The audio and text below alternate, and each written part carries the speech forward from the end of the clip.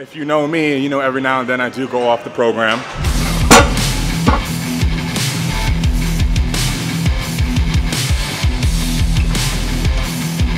It's your boy. What's going on? So we are here back at Warehouse Gym in Dubai.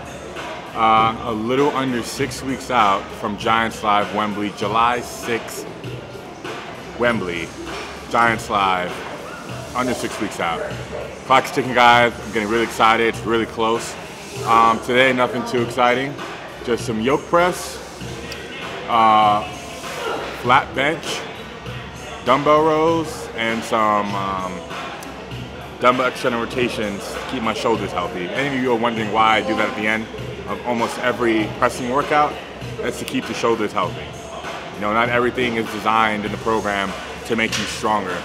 Uh, some things are just kept there to keep you from getting hurt. So, without further ado, let's get to work.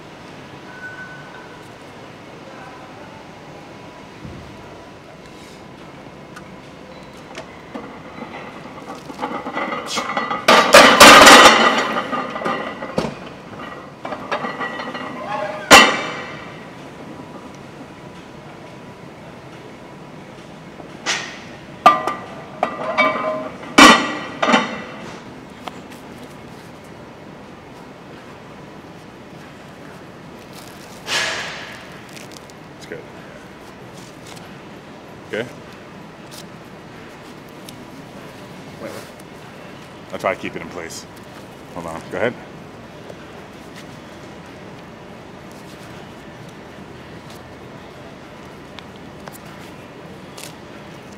Okay. Take it. I did the last one. Oh, thank you. My phone's right there on my slippers. Yeah.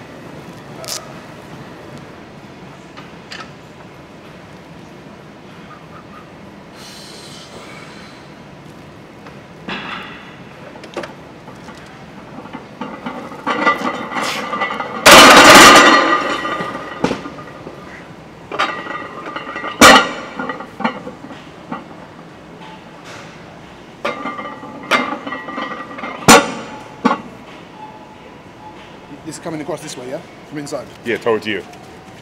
I'll hold it. I'll hold it in place. Got it? Yeah.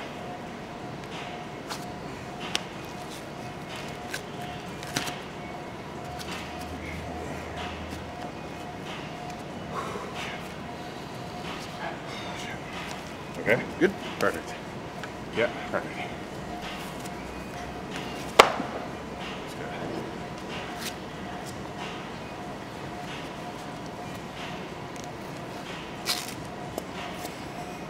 Last but not least.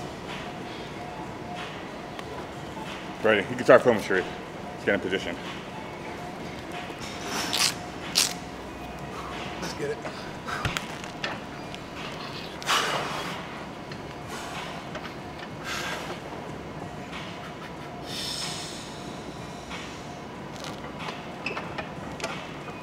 Let's go there. Come on. Easy way. Come on. Come on. Yes! Come on! Come on! Good.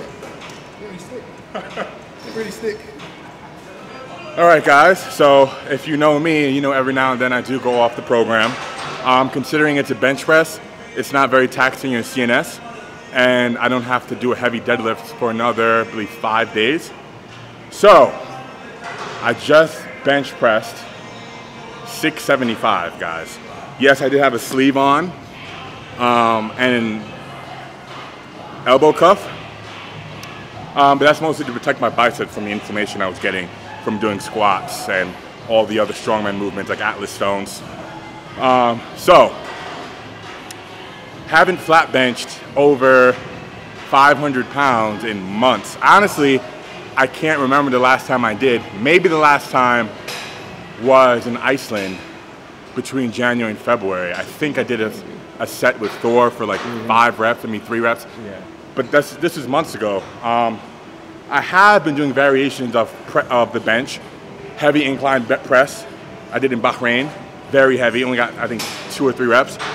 The dual barbell bench, again, very heavy, 245 pounds each arm, very heavy. It's not exactly a flat barbell bench, but it's still a press, right? And it's still with a barbell.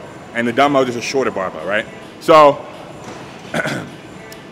while I wasn't directly training flat bench, it still managed to get stronger from the other variations. And you know, guys, time off from a movement is usually a good thing, right? Sometimes guys will come up to me like, how do I increase my bench, my squat, my deadlift? And a lot of the times, a lot of the time, these are the guys who are deadlifting three, four times a week because they think more is better.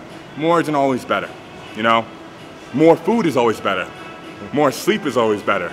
But more training is not always better. Sometimes taking a step back is what's necessary. For example, just two weeks ago, I haven't hit a one rep max deadlift. No, I haven't deadlifted in five weeks because I was letting my lower back rest. And I pulled 914. You know, just an ex- another example of how rest helps you when it comes to training. So on that note, guys, drop a comment on what you think my next PR will be. Some of you already know if you watched my previous videos, but drop a comment on when you think I hit a 700 pound bench. While I'm still doing strongman, it will always be my biggest passion to increase my squat, bench, and deadlift.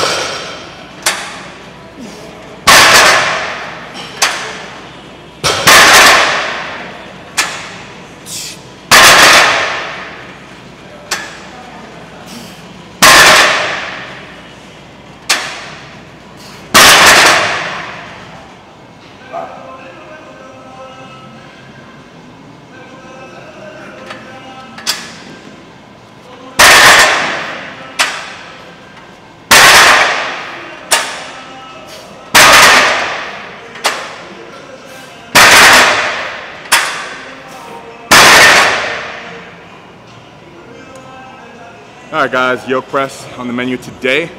So, first two sets feel good. I'm getting better with the timing of my leg drive and the press. Um, one thing I just realized now is I'll probably be getting a down command in competition. That just means you have to hold it at the top. They'll signal you down, then you can drop the weight. For example, pressing and coming back down before the down command, they won't count that rep. So for this set, I'm gonna practice the commands. Guys, train how you play in competition.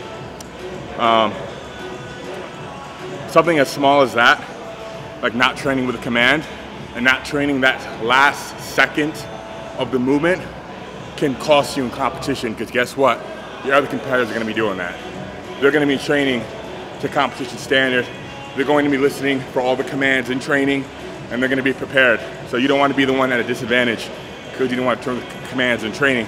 Of course, it's easier to drop as soon as you lock out, but like I said, it's going to cost you in competition because that one second is harder. It does take more energy out of you to hold at the top.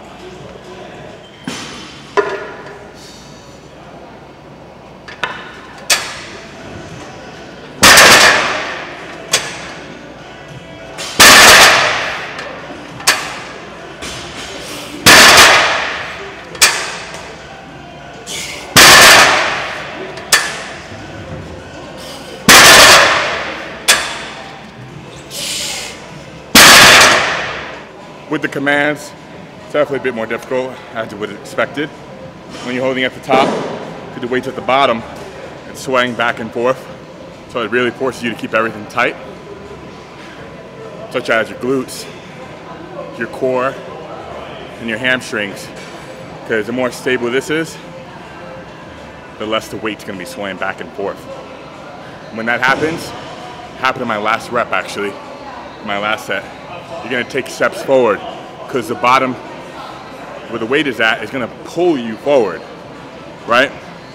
Heavier guys can have an advantage with this event considering a lot of the strongman competitors weigh more than what they're pressing. This is 325 pounds. Most of these strongman guys are at least 340. Whereas me, I'm about 285, 280.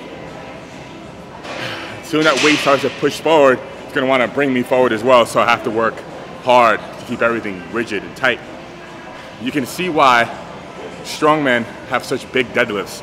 All these movements involve keeping everything very tight and having control over your core, your glutes, your hamstrings, and that's very important with the deadlifts. The tighter and stronger your core, the more you'll deadlift. As soon as your back gives out, right, as soon as uh, there's a anything that's not tight or contracted, you're gonna miss that deadlift. So I can, the more I do strongman training, the more I realize why strongmen have the biggest deadlifts in the game.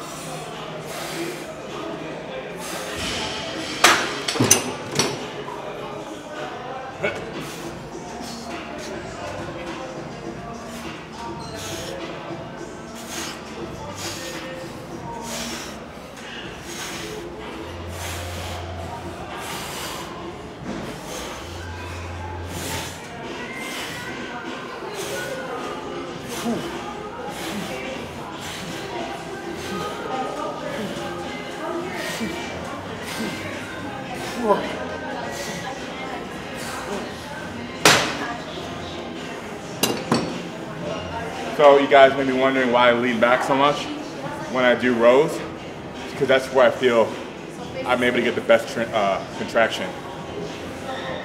You know, guys, a lot of these movements, especially when it comes to machines, everyone's leverages are different. It's not one size fits all, right? It's not, uh, you'll see one person doing this exact same exercise and it'll look different. That's because they have different leverages. Their arms are different lengths, their torsos are different size, this, that, and the other. So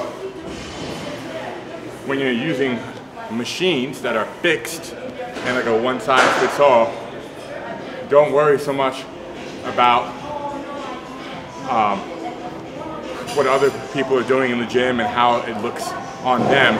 Just worry about however you do it gets you the best uh, contraction. That's most important. as long as you can feel it, where you're supposed to feel it, that's all that matters. If you have to lean all the way back to get a good transaction, great. If you have to lean far forward, sit very upright to get a good transaction, more power to you. As long as you feel where you're supposed to, that's the most important.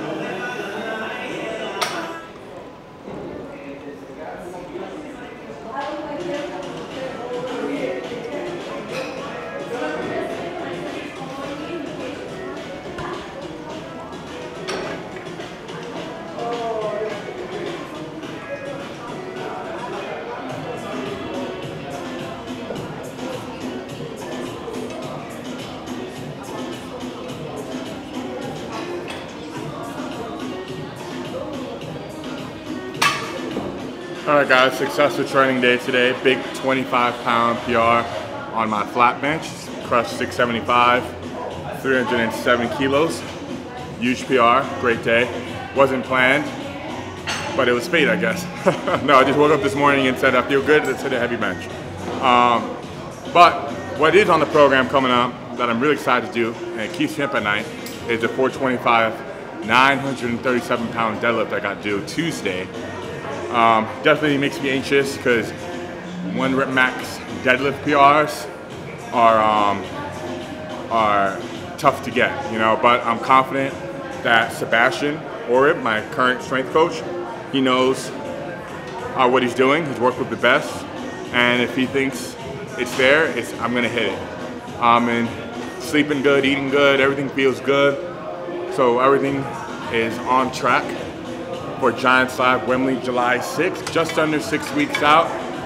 God, this is a journey of mine you don't want to miss out on. So thank you for taking this ride with me. Like, subscribe, turn on post notifications, drop a comment, and I'll see you guys soon.